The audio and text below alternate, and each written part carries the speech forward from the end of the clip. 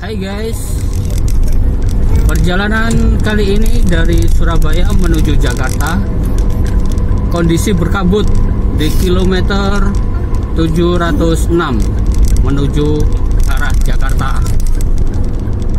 Tidak kelihatan bos. Sama sekali ini jalanan hanya 20 meter.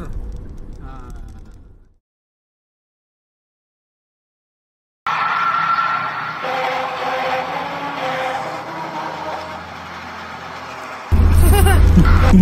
Dan dan.